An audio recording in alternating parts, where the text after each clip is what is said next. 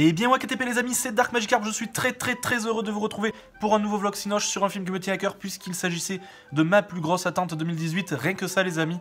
Euh, il s'agit ni plus ni moins que le film de Guillermo del Toro, euh, sorti fin février 2018, La forme de l'eau, donc The Shape of Water pour euh, les euh, les, bilingues, on va dire, pour ceux qui l'auront vu en VO, et je, vous, recommande vivement la VO d'ailleurs avant d'attaquer cette critique.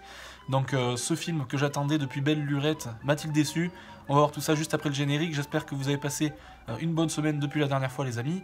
Je vous emmène dans ma besace comme d'habitude, top à la vachette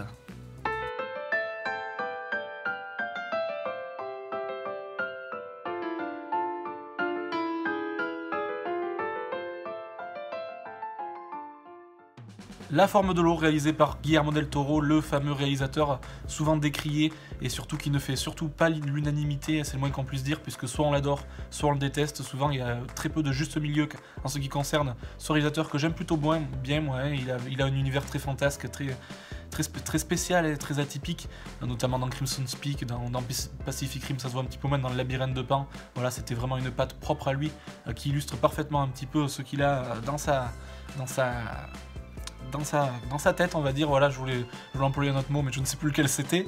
Euh, donc la forme de l'eau, euh, avec notamment Michael Shannon, Sally Hawkins, donc on a Octavia Spencer, on a un casting vraiment, on va y revenir un petit peu plus tard, vraiment petits oignons. Euh, et on va commencer tout de suite d'ailleurs avec les points positifs. Avant de commencer quand même, je vais vous donner le synopsis, un petit peu, voilà, sans rentrer dans aucun détail, je vous donne un petit peu l'ambiance générale.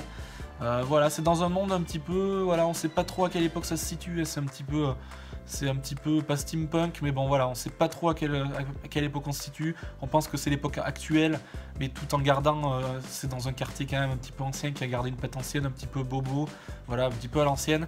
Euh, et euh, notre chère protagoniste principale, Elisa, Elisa donc en français, euh, qui est muette et qui travaille dans un laboratoire un petit peu de biotechnologie, voilà, de nanotechnologie, de, recherche un petit peu voilà, dans l'univers steampunk. Vous verrez, il y a beaucoup de rouille, beaucoup de ferraille, beaucoup de... Vous verrez, c'est quand même exceptionnel. Euh, et une découverte a été faite et elle va un petit peu se prendre, euh, se prendre de curiosité un petit peu, vu qu'elle est muette, elle doit avoir d'autres sens un petit peu. Elle va se prendre, se prendre d'amour même, je peux vous le dire, de cette fameuse créature qui a été découverte dans un lac non loin, d'ici et qui compte être étudié. Euh, et on va suivre un petit peu les péripéties de, cette, fameuse, femme de ménage, ni plus ni moins de, ce, de cette usine, euh, et euh, les pérégrinations de, ce couple un petit, peu, un petit peu mystère et un petit peu bizarre, on va dire, et très atypique, c'est le moins qu'on puisse dire.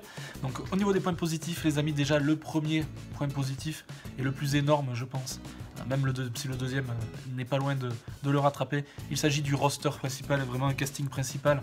Euh, que ce soit un casting principal d'ailleurs, secondaire ou tertiaire, vraiment juste ahurissant.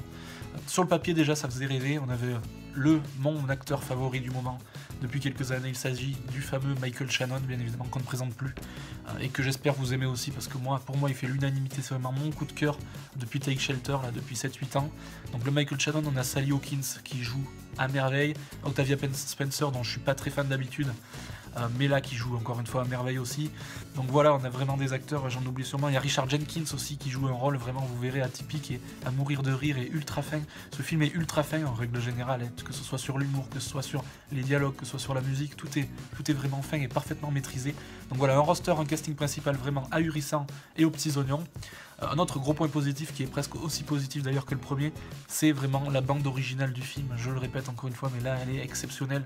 Euh, que ça aille du moindre petit bruitage à la moindre ambiance sonore, jusqu'à la grande mélodie, etc., et les grandes chansons principales du film, tout est vraiment euh, aux petits oignons. Je me répète, mais c'est vraiment ça. Tout est là où il faut, quand il faut. Et ça, vraiment, on apprécie. Moi, j'apprécie beaucoup euh, ce genre de, de BO. Vous verrez vraiment très très fine. Hein. C'est pas des, grands, des grandes musiques populaires et, commerciales du moment, mais c'est vraiment parfaitement choisi. Vous verrez, il y a même une chanson française à un moment. Je ne vous spoil pas laquelle, mais je pense que notre ami Sarah Voussoul d'ailleurs adore cette chanson, mais je ne souhaite pas la spoiler ici. Euh, et savoir que c'est un grand classique de la chanson française qui est repris dans le monde entier du coup, puisqu'il n'y a pas de, changement de, BO selon les, selon les titres, selon les, pays par contre de diffusion, pardon.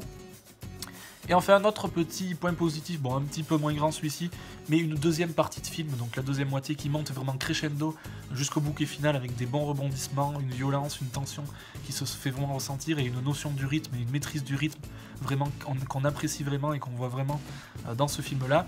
Ce qui m'amène au point négatif, et encore une fois, euh, on va attaquer, bien évidemment. Qui dit deuxième partie qui monte crescendo, dit première partie un petit peu faiblarde, encore une fois. On sait pas trop où on veut partir. Quelques moments longués. Voilà, c'est pas catastrophique, mais c'est un petit point négatif qui est à noter. Euh, un autre point négatif qui est celui-ci, je pense, le plus négatif du film et ce qui m'a fait euh, être un poil déçu, même si j'ai adoré le film. Il s'agit du, voilà, du scénario, encore une fois. On a une belle enveloppe, on a une enveloppe vraiment très originale, très atypique, mais pour traiter finalement un sujet, un scénario ultra lambda. En fait, voilà, on a une belle, carcasse, mais à l'intérieur, euh, euh, on n'a rien, c'est un petit peu indigeste et c'est du vu et de revu, même s'il y en a beaucoup. Bon, on se fait un petit peu avoir par le fait que, que les décors et tout ça, que les personnages soient vraiment atypiques et très originaux, euh, mais on n'en oublie pas, enfin, surtout moi, j'en ai pas oublié que ce scénario est finalement, au final, très très lambda et raconte quelque chose qu'on a vu et revu maintes et maintes fois depuis, depuis la nuit des temps. Donc ça, ça m'a vraiment fait perdre beaucoup de points à la note finale que je vous donnerai juste après. Un autre petit point négatif, qui n'est pas catastrophique mais qui est à signaler, et, entièrement encore une fois subjectif bien évidemment. Euh, il s'agit du Cara Design, donc vraiment le design et le choix qui a été fait au niveau de la créature principale du film.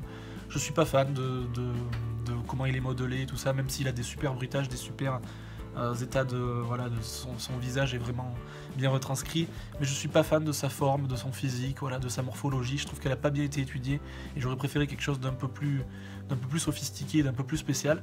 Euh, ça n'en reste ni plus ni moins un très bon film que je vous conseille encore une fois en 2018. On a trop peu de films comme ça. On, a, on nous sert trop de la soupe indigeste, on nous sert trop euh, voilà, de la soupe commerciale. Voilà, on commence à, à n'en plus pouvoir et ce genre de film vraiment est rafraîchissant. Je pense que c'est le meilleur mot, hein. rafraîchissant. Vous passerez forcément un bon, un bon moment au cinéma, pardon, j'en perds mes mots. Je vous le conseille évidemment. Euh, et ma note sera évidemment de, évidemment non d'ailleurs, puisque vous le savez pas, mais de 14,5 sur 20. J'étais un petit peu difficile, mais je pense qu'avec un scénario un poil plus original, euh, ma note serait vraiment montée en flèche à 16 voire 17 sur 20. Mais ça m'a vraiment fait dégringoler, puisque c'est pour moi le plus important dans un film, finalement le scénario. Et là, on a voulu un petit peu nous la faire à l'envers, là, si, si je peux m'exprimer si je peux m'exprimer ainsi, pardon. Et du coup, voilà, c'est un bon film une œuvre rafraîchissante qui fait du bien au cinéma, mais pas dénuée encore de tout défaut. J'attendrai bien évidemment avec impatience le steelbook et les éditions et, tout y quanti, les amis. J'espère que ça vous aurait fait plaisir à l'heure des tuches et à l'heure des, des Black Panther. Je vais encore me faire taper dessus, mais c'est pas grave d'avoir ce genre d'œuvre là. Euh, dites-moi ce que vous avez pensé de ma petite critique, les amis, euh, dans l'espace des commentaires, bien évidemment. Euh, le petit pouce bleu ou le petit pouce rouge, ça dépend, c'est vous qui voyez, c'est vous les seuls maîtres, encore une fois, de la chaîne.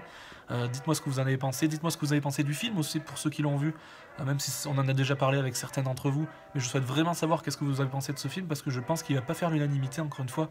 Il va y avoir de nombreux débats, plus ou moins houleux, à ce sujet-là. Euh, quant à nous, on se retrouve la semaine prochaine pour une nouvelle critique. Euh, je peux vous dire tout de suite que ça sera un film encore très très atypique. Je pense faire très très peu de vues, mais je m'en fous, je reste sur, euh, sur ma lignée, je vous traite l'ensemble des films que je vois. Et la diversité est vraiment le maître mot de ma passion. D'ici la prochaine vidéo, comme je vous l'ai dit les amis, portez-vous bien, sortez couverts, et puis salut salut